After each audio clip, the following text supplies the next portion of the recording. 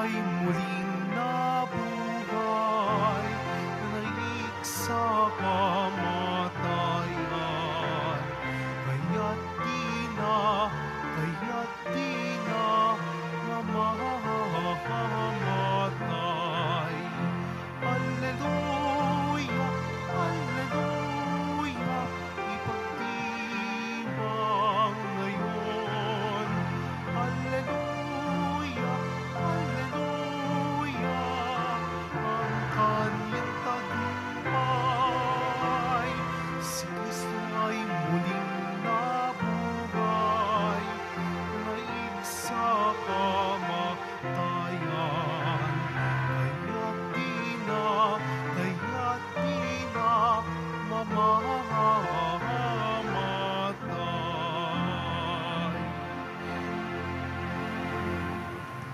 Simulan natin ang ating pagdiriwang sa ngalan ng Ama at ng Anak at ng Espiritu Santo Amen.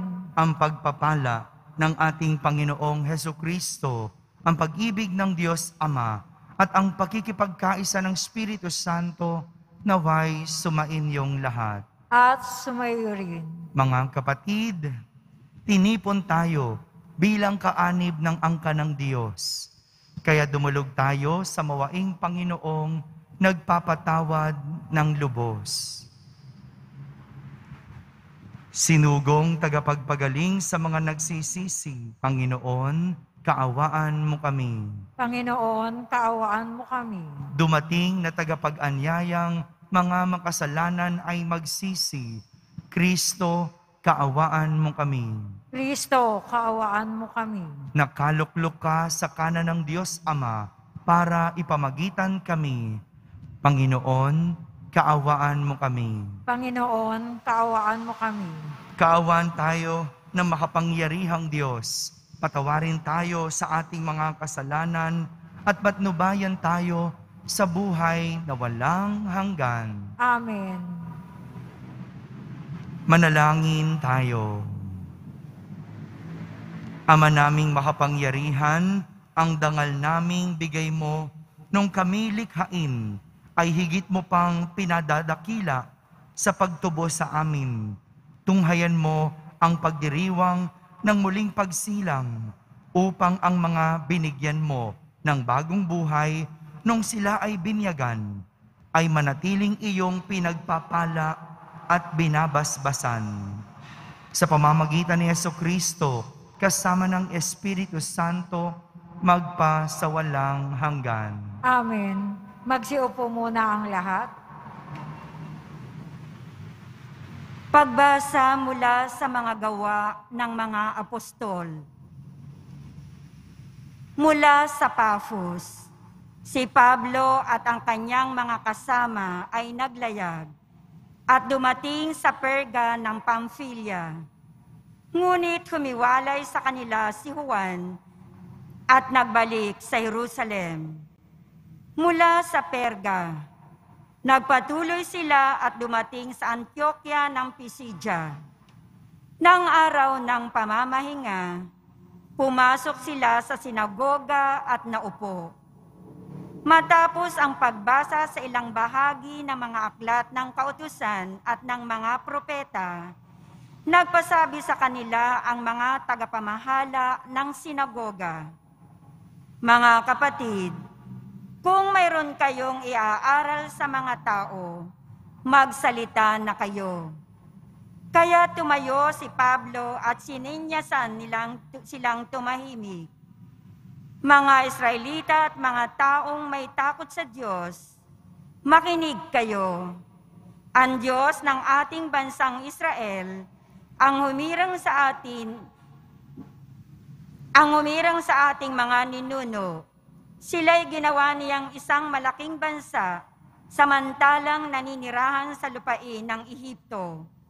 Inilabas doon sa pamamagitan ng kanyang kaloob na halos apat na pung taon.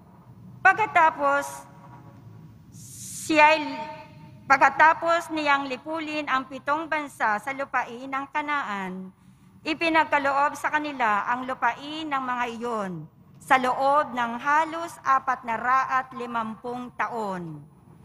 Pagkatapos siyang, sila'y binigyan niya ng mga hukom hanggang kay Propeta Samuel. Nang humingi sila ng hari, ibinigay sa kanila ng Diyos ang isang lalaki mula sa lipi ni Benjamin, si Saulo na anak ni Sis. Naghari si Saulo sa loob ng apat na pung taon. At nang siya'y alisin ng Diyos, inihalili ni David upang maghari sa kanila. At ganito ang patutuo ng Diyos tungkol sa kanya. Natagpuan ko kay David na anak ni Hesi, ang lalaking nakalulugod sa akin. Isang lalaking handang tumupad sa lahat ng iniuutos ko. Mula sa angka ng lalaking ito, ipinagkaloob ng Diyos sa Israel si Jesus, ang kanyang ipinangakong tagapagligtas. Bago siya dumating, ipinangaral ni Juan sa buong Israel na dapat silang magsisit talikda ng kanilang mga kasalanan at pabinyag. Nang matapos na ni Juan ang kanyang gawain, Sinabi niya sa mga tao, Sino ba ako sa akala ninyo? Hindi ako ang Kristo. Ngunit siya'y darating nakasunod ko, at hindi ako karapat-dapat kahit taga-alis ng panyapak. Ang salita ng Diyos. Salamat sa Diyos. Pag-ibig mong walang maliw, ay lagi kong sasambitin. Pag-ibig mong walang maliw ay lagi kong sasambitin. Pag-ibig mo poon na di nagmamaliw, ang sa tuwi-tuwi na'y aking aawitin. Ang katapatan mo'y laging sasambitin. Yaong pag-ibig mo'y walang katapusan, sintatag ng langit ang iyong katapatan. Pag-ibig mong walang maliw ay lagi kong sasambitin. Ang piniling lingkod na ito'y si David, aking pinahiran ng banal na langis. Kaya't palagi ko siyang aakbayan at siya'y lalakas sa aking patnubay. Pag-ibig mong walang maliw ay lagi kong sasambitin. Ang pagtatapat ko't pag-ibig na wagas ay iuukol ko't aking igagawad at magtatagumpay siya oras-oras. Ako'y tatawaging Ama ni at Diyos, tagapagsanggalang niya't manunubos. Pag-ibig mong walang maliw ay lagi kong sasambitin. Magsitayo na po ang lahat.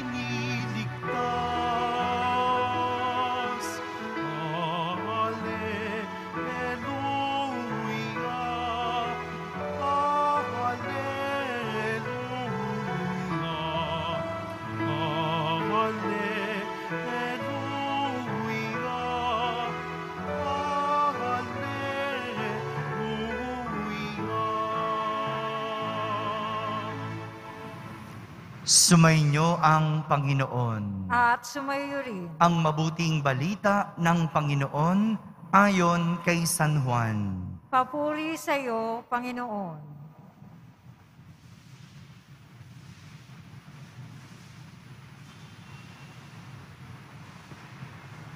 Nang mahugasan na ni Jesus ang mga paa ng kanyang mga alagad, sinabi niya sa kanila, Sinasabi ko sa inyo, ang alipin ay hindi dakila kaysa kanyang Panginoon. Ni ang sinugo kaysa sa nagsugo sa Kanya. Kung nauunawaan ninyo ang mga bagay na ito at inyong gagawin, mapapalad kayo. Hindi para sa inyong lahat ang sinasabi ko. Nakikilala ko ang aking mga hinirang. Ngunit dapat matupad ang nasasabi sa kasulatan. Ako'y pinagtataksilan ng taong pinakakain ko. Sinasabi ko ito sa inyo bago pa mangyari upang kung ito'y mangyari na, ay manalig kayo na ako'y si ako nga. Tandaan ninyo, ang tumatanggap sa sinugo ko'y tumatanggap sa akin. At ang tumatanggap sa akin ay tumatanggap sa nagsugo sa akin. Mga kapatid, ang mabuting balita ng Panginoon. Pinupuri ka namin, Panginoong Heso Kristo. Magsiupo muna po ang lahat. Isang magandang araw po sa inyong lahat. Walang anak ang higit sa magulang. Tama po ba yon? Walang anak ang higit sa magulang. Walang estudyante ang mas higit pa sa kanyang guro. Maaring matalino ang isang estudyante, pero hindi pwedeng mas higit pa siya sa guro. Hindi po ba? Ganon din sa ating pananampalataya. Walang deboto ang higit pa sa Nazareno. Kahit pa anong yaman mo, kahit pa anong galing at talino mo, hindi tayo higit sa Nazareno. Lalo pa kung sinasabi mong ikaw ay deboto. At bilang Pilipino, walang tao dito sa ating bansa o kahit sa mundo ang higit o mas nakatataas pa sa batas. Wala po. Lahat tayo nasa ilalim ng batas. Mga kapatid, ito po ang tinutukoy at ganito rin ang sinasabi sa atin ni Jesus sa ating ebanghelyo. Ito yung sinabi ni Jesus sa kaniyang mga alagad. Sabi ni Jesus, sinasabi ko sa inyo, ang alipin ay hindi dakila kaysa kaniyang Panginoon, ni ang sinugo kaysa sa nagsugo sa Kanya. At kung nauunawaan ninyo ang mga bagay na ito at inyong gagawin, mapapalad kayo. Kung nauunawaan ninyo ito at gagawin ninyo, mapapalad kayo. Kung nauunawaan mong ikaw ay anak at meron kang magulang na dapat sundin at pakinggan, mapapalad ka. Mapapalad kayo. Kung ikaw ay isang estudyante at nalalaman mong mas higit ang iyong guro, sinusunod mo ang iyong guro, nakikinig ka sa kanyang mga turo, sa huli, ikaw ay papalarin. Kung ikaw ay isang deboto, at sinusunod mo lang ang poong Jesus Nazareno, ikaw ay papalarin. Ngunit kung sinusuway mo, sigurado ikaw ay mamalasin. Ganito yung nangyayari sa atin kapag hindi natin nauunawaan na mas higit ang magulang kaysa anak. Kapag ang anak sinusuway ang magulang, hindi ba sa huli nasisira ang buhay? Kapag ang estudyante hindi nakikinig sa mga aralin o tinuturo ng guro, hindi ba sa huli napapariwara? Hindi nakakapagtapos ng pag-aaral? Hindi natututo? Kapag ang isang deboto sinusuway ang poong Jesus Nazareno, hindi ba sa huli nasisira ang buhay? Nawawala at naliligaw ng landas? Mga kapatid, ito po ang tinuturo sa atin ni Jesus sa araw na ito. At dito natin mas maa-appreciate si Jesus sapagkat sinabi niya ito, tinuro niya ito noong matapos niyang hugasan ang mga paa ng kanyang alagad.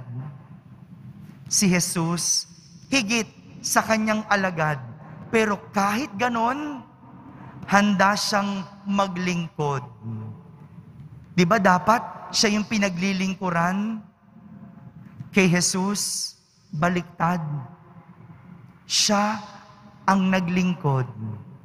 Ganyan kababa si Jesus. Ganyan kamapagmahal si Jesus. Kahit may kahit siya'y higit sa lahat, siya'y nagpakababa.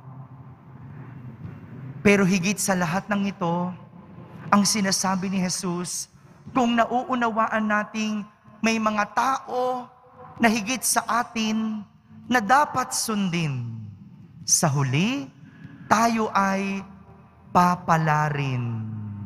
Ngunit ang mga sumusuway at hindi sumusunod, sa huli, mamalasin. Kaya mga, kapatid, tandaan, sa pagsunod, mayroong pagpapala. Sa pagsuway, mayroong sumpa. Dahil anumang bagay na galing sa pagsuway, anumang bagay na ginawa dahil sumuway, sa huli, hindi magtatagumpay. Amen. Magsitayo na po ang lahat. Minamahal ko mga kapatid, habang nagkakatipon tayo ngayon bilang isang bayang nangangailangan, manalangin tayo ng may pusong nagpapakumbaba sa Diyos Ama, taglay ang pagtitiwala sa kanyang dakilang habag. Ating sambitin sa bawat panalangin, Ama, pagpalain mo kami kay Kristo. Ama, pagpalain mo kami kay Kristo.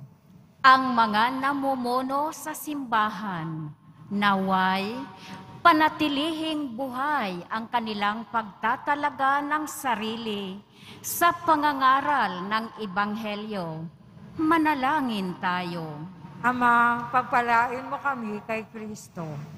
Ang mga pinagkatiwalaan ng pamumuno, naway mag-akyat at maging gabay ng mga tao sa diwa ng paglilingkod.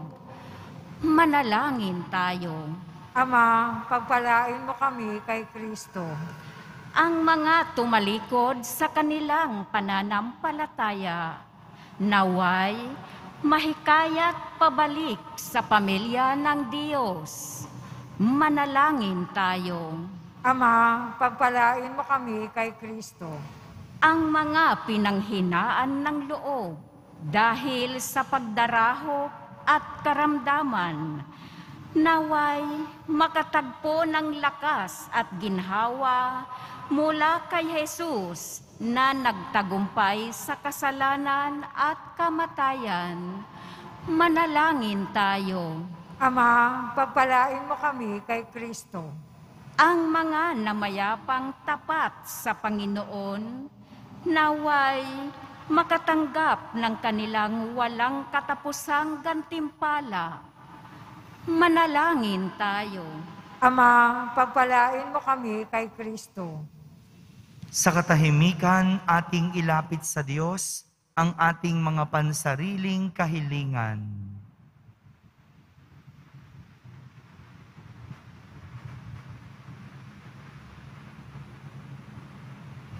Manalangin tayo. Ama, pagpalain mo kami kay Kristo. Amang makapangyarihan, tinatawag mo kami upang makasama mo, maging tapat nawa kami sa pagsunod sa iyong anak, sa daan patungo sa iyong kaharian. Hinihiling namin ito sa pamamagitan ni Kristo na aming Panginoon. Amen. Magsiupo po ang lahat. Panginoon,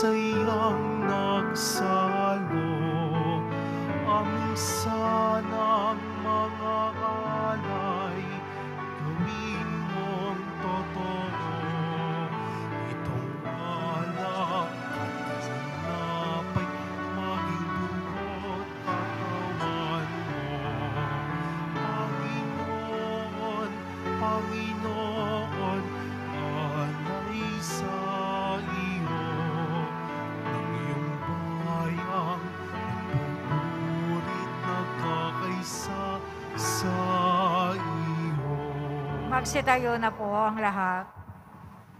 Manalangin kayo mga kapatid upang ang paghahain natin ay kalugdan ng Diyos amang makapangyarihan. Tanggapin nawa ng Panginoon itong pag-aahin sa iyong mga kamay, sa kapurihan niya at karangalan sa ating kapakinabangan at sa buong sambayan niyang banal. Ama naming lumikha, paakyatin mo sa iyong piling sa kalangitan ang aming mga panalangin kalakip ng haing mga alay upang ang mga pinagindapat mong gawing dalisay ay maging marapat na makasalo sa piging ng iyong pagmamahal sa pamamagitan ni Yeso Kristo kasama ng Espiritu Santo magpa sa walang hanggan. Amen. Sumainyo ang Panginoon. At sumayo rin, Itaas sa Diyos ang inyong puso at diwa. itinaas na namin sa Panginoon. Pasalamatan natin ang Panginoong ating Diyos. Marapat na siya ay pasalamatan. Ama naming makapangyarihan, tunay ngang marapat na ikaw ay aming pasalamatan. Ngayong ipinagdiriwang ang paghahain ng Mesiyas, ang maamong tupa na tumubos sa aming lahat. Naghahaing walang humpay, ang anak mong minamahal, upang magkasalo-salo ang tanan sa piging ng iyong buhay. Hindi na mamamatay ang inihain sa krus. Ang sa krus ipinakoy, buhay lagi bilang handog. Kaya kaysa ng mga anghel na nagsisiawit ng papuri sa iyo nang walang humpay sa kalangitan, kami nagbubunyi sa iyong kadakilaan. Santo, Santo, Santo, Panginoon Diyos ng mga hukbo, napupuno ang langit at lupa ng kadakilaan mo. O sana sa kaitaasan, pinagpala ang naparirito sa ngalan ng Panginoon. O sana sa kaitaasan, magsiluhod po ang lahat. Ama naming banal, ikaw ang bukal ng tanang kabanalan. Kaya't sa pamagitan ng iyong Espiritu, ay gawin mong banal ang mga kaloob na ito upang para sa amin ay maging katawan at dugo ng aming Panginoong Heso Kristo. Bago niya pinagtiisang kusang loob na maging handog, hinawakan niyang tinapay, pinasalamatan kanya, pinaghati-hati niya iyon, iniyabot sa kanyang mga lagad at sinabi, Tanggapin ninyong lahat ito at kanin. Ito ang aking katawan na inihahandog para sa inyo.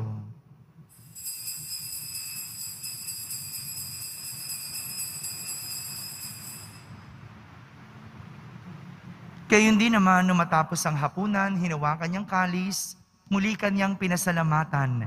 Iniabot niya ang kalis sa kanyang mga lagad at sinabi, Tanggapin ninyong lahat ito at inumin.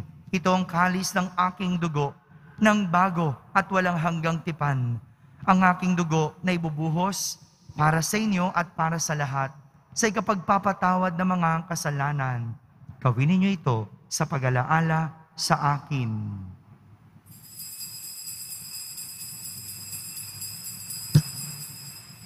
Magsitayo na po ang lahat. Ipagbunyi natin ang misteryo ng pananampalataya. Si Kristo'y namatay, si Kristo'y nabuhay, si Kristo'y babalik sa wakas ng panahon. Ama, ginagawa namin ngayon ang pag-alaala sa pagkamatay at muling pagkabuhay ng iyong anak, kaya't inaalay namin sa iyo ang tinapay na nagbibigay buhay at ang kalis na nagkakaloob ng kaligtasan. Kami nagpapasalamat dahil kami iyong minarapat na tumayo sa harap mo para maglingkod sa iyo. Isinasamo namin kaming magsasalo-salo sa katawan at dugo ni Kristo ay mabuklod sa pagkakaisa sa pamamagitan ng Espiritu Santo. Ama, lingapin mo ang iyong simbahang laganap sa buong daigdig. Puspusin mo kami sa pag-ibig kaysa ni Francisco na aming Papa, ni Jose na aming Obispo at ng Tanang Kaparian. Alalahanin mo rin ang mga kapatid naming nahimlay na may pag-asang sila'y muling mabubuhay. Kayon din ang lahat ng mga pumanaw. Kaawan mo sila at patuloyin sa iyong kaliwanagan. Kaawan mo at pagindapating kaming lahat na makasalo sa iyong buhay na walang wakas. Kaisa na mahal na Birheng Maria na ina ng Diyos, ng kabiyak ng puso niyang si San Jose, kaysa ng mga apostol at ng lahat ng mga banal na namuhay dito sa daigdig ng kalugod-lugod sa iyo. May pagdiwang nawa namin ang pagpupuri sa kararangal mo sa pamamagitan ng iyong anak na aming Panginoong Heso Kristo. Sa pamamagitan ni Kristo, kasama niya at sa Kanya, ang lahat ng parangal at papuri ay sa iyo, Diyos amang makapangyarihan, kasama ng Espiritu Santo, magpa sa walang hanggan. Amen. Sa tagubilin ng mga nakahagaling na utos at turo ni Jesus na Panginoon natin at Diyos, ipahayag natin ng lakas loob. Ama namin, sumasalangit ka, Sambahin ang ngalan mo, mapasa amin ang kaharian mo. Sundin ang loob mo dito sa lupa para nang sa langit. Bigyan mo kami ngayon ng aming kakanin sa araw-araw at patawarin mo kami sa aming mga sala para ng pagpapatawad namin sa nagkakasala sa amin. Huwag mo kaming ipahintulot sa tukso. Iadya mo kami sa lahat ng masama. Hinihiling namin kami iadya sa lahat ng masama, pagkaloban ng kapayapaan araw-araw, iligtas sa kasalanan at ilayo sa lahat ng kapahamakan. Samantalang aming pinananabikan ang dakilang araw ng pagpapahayag ng tagapagligtas naming si Heso Kristo. sapagkat iyo ang kaharian, ang kapangyarihan at ang kapurihan magpakailanman. Amen. Panginoong Heso Kristo, sinabi mo sa iyong mga apostol, kapayapaan ang iniiwan ko sa inyo. Ang aking kapayapaan ang ibinibigay ko sa inyo. Tunghayan mo ang aming pananampalataya at wag ang aming pagkakasala. Pagkaloban mo kami ng kapayapaan at pagkakaisa ayon sa iyong kalooban, kasama ng Espiritu Santo, magpa sa walang hanggan. Amen. Ang kapayapaan ng Panginoon ay laging sumainyo. At sumayo rin. Magbigayin kayo ng kapayapaan sa isa't isa. Kapayapaan po para sa lahat. Kordero ng Diyos na nag-aalis ng mga kasalanan ng sanlibutan, maawa ka sa amin. Kordero ng Diyos na nag-aalis ng mga kasalanan ng sanlibutan, maawa ka sa amin. Kordero ng Diyos na nag-aalis ng mga kasalanan ng sanlibutan, ipagkaloob mo sa amin ang kapayapaan. Magsiluhod po ang lahat.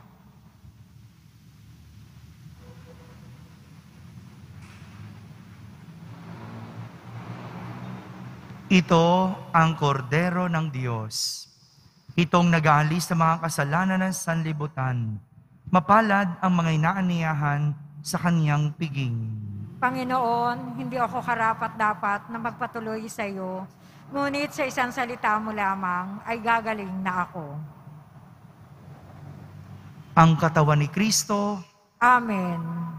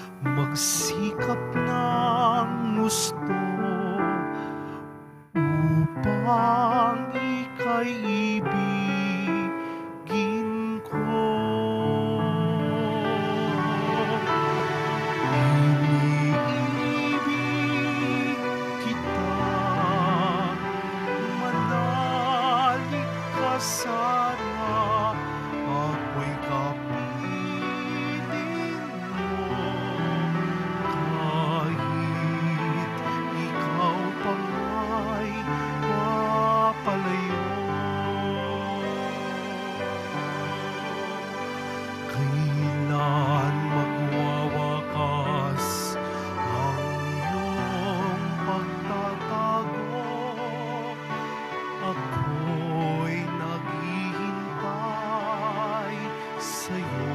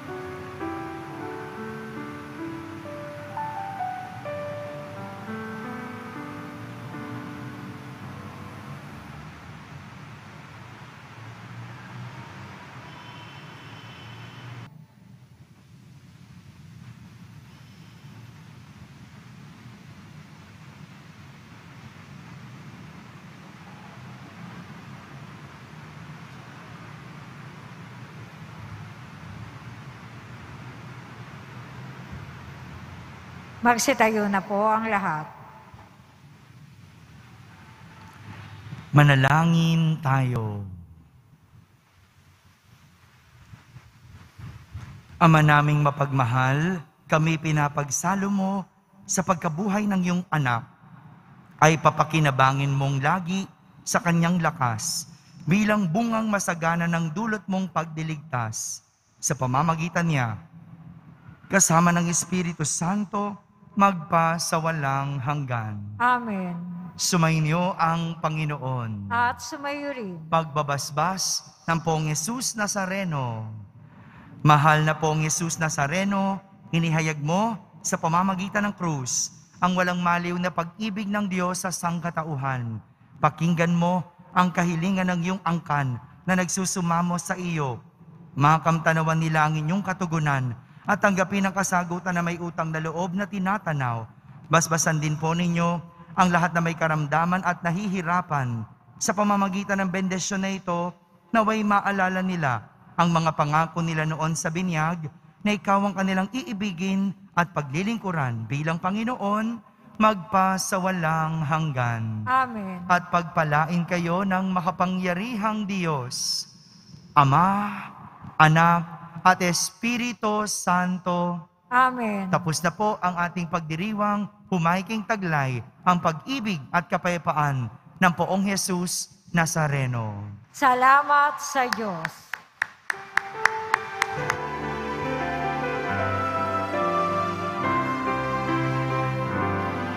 Nuestro Padre Jesús Nazareno, sinasamba